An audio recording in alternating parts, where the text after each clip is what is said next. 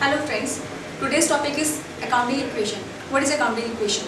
Accounting equation is a mathematical expression which shows that assets and liability of a firm are equal.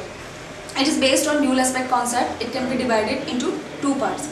लेखांकन समीकरण प्रत्येक दशा में उसकी संपत्तियाँ उसके देनदारियों के बराबर होती है assets equals to owners equity asset equals to liability plus capital liability assets minus capital जितने भी एसेट्स होती है, उसमें से हम capital minus करके अपनी liability निकाल सकते हैं।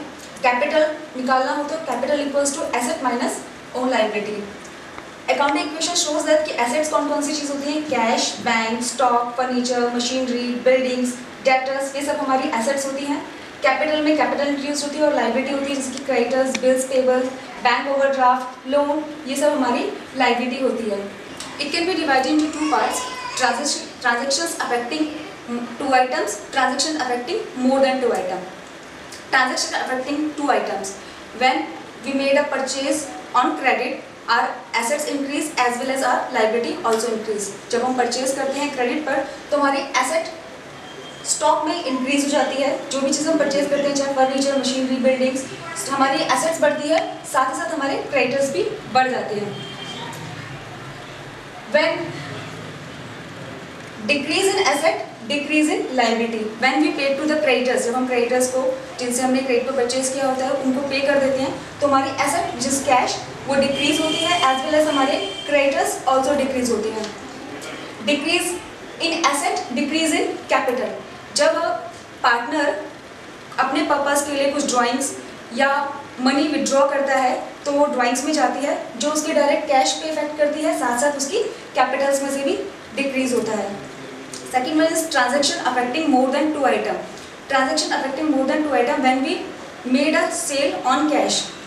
जब हम सेल करते हैं कैश पर तो हमारी गुड्स की कॉस्टिंग रिड्यूस होती है फिर हमने जिस पे सेल किया होता है, उसको माइनस करके जो हमारा प्रॉफिट आता है, वो हमारी कैपिटल को इंक्रीज करता है सेल करने पर जो हमारी इनकम आती है, वो हमारी कैश और कैपिटल दोनों को इंक्रीज करती है आइए अब हम इसे एक सम के माध्यम से समझते हैं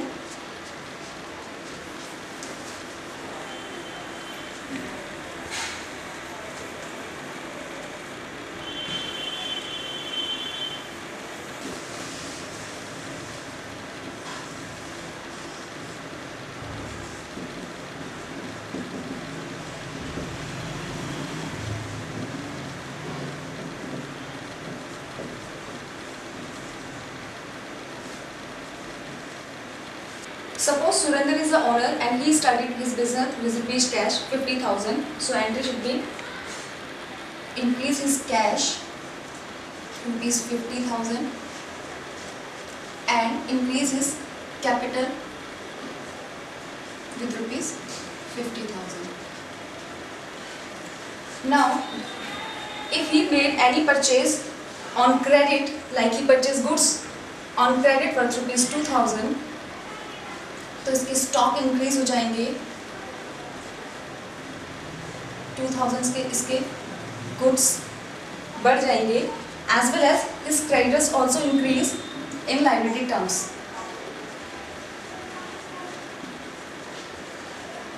rupees two thousand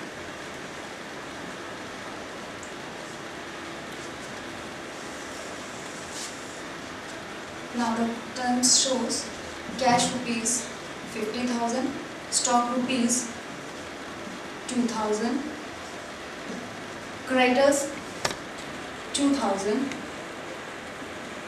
and his capital is on 50,000.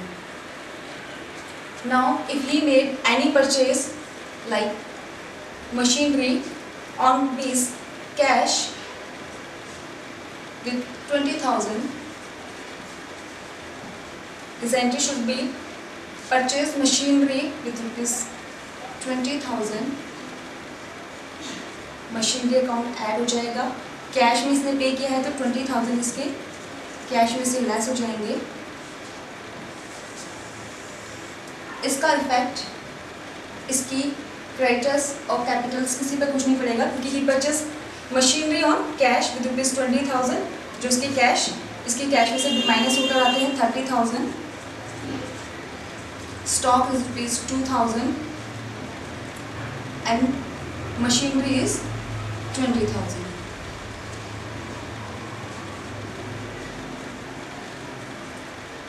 Capital is 50,000.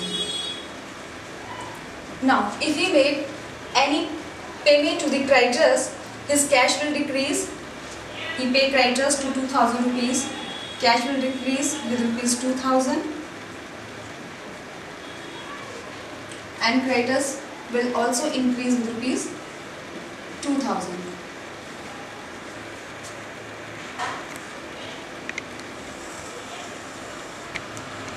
Now the entry is capital is 50,000 creditors nil इसका कैश आया 28,000 गुड्स है पर रुपीज़ 2,000 एंड इसकी मशीनरी है twenty thousand. Twenty eight thousand plus two thousand thirty plus fifty thousand in every situation assets equals to his liability plus capitals now if we made any drawing for his personal uses he withdraw some money for his personal uses तो it will decrease his cash and capital also he withdraw money for rupees five thousand for his personal uses 5,000 minus in the cash and 5,000 minus in the capital.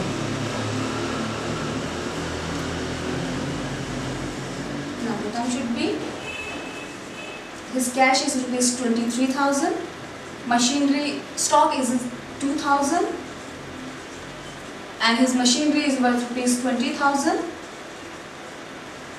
Now the creditor is nil and his capital reduced by 5,000 which is now 45,000. The accounting equation shows that in every situation when he made purchase on credit or debit or cash, his assets equals to liability plus his capital. Hope you will understand accounting equation. If you have any question or query, you can mail me. Thank you.